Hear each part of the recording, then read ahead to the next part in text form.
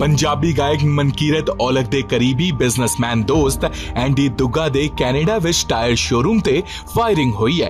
Canadian media reports ਦੇ ਮੁਤਾਬਕ ਇਹ ਹਮਲਾ ਕੈਨੇਡਾ ਸਮੇਂ ਅਨੁਸਾਰ ਸ਼ੁੱਕਰਵਾਰ, ਸ਼ਨੀਵਾਰ ਅੱਧੀ ਰਾਤ ਬ੍ਰੈਂਪਟਨ ਦੇ ਪੀਲ ਇਲਾਕੇ ਵਿੱਚ ਹੋਇਆ। ਐਂਡੀ ਦੁੱਗਾ ਦੇ ਟਾਇਰ ਸ਼ੋਰੂਮ ਉੱਤੇ ਗੋਲੀਆਂ ਚਲਾਈਆਂ ਗਈਆਂ। ਖਬਰਾਂ ਮੁਤਾਬਕ ਐਂਡੀ ਦੁੱਗਾ ਬੰਬੀਹਾ ਗੈਂਗ ਦੇ ਨਿਸ਼ਾਨੇ ਤੇ ਆ ਗਿਆ ਹੈ। ਸੂਤਰਾਂ ਤੋਂ ਮਿਲੀ ਜਾਣਕਾਰੀ ਮੁਤਾਬਕ ਬੰਬੀਹਾ ਗੈਂਗ ਦਾ ਕਹਿਣਾ ਹੈ ਕਿ ਐਂਡੀ ਦੁੱਗਾ ਲਾਰੈਂਸ ਬਿਸ਼ਨੋਈ ਨੂੰ ਸਪੋਰਟ ਕਰਦਾ ਹੈ ਤੇ ਸਿੱਧੂ ਮੂਸੇਵਾਲਾ ਦੇ ਕਤਲ ਤੋਂ ਬਾਅਦ ਮੁਲਜ਼ਮਾਂ ਨੂੰ ਸ਼ੈਲਟਰ ਵੀ ਦਿੱਤੀ ਗਈ ਹੈ।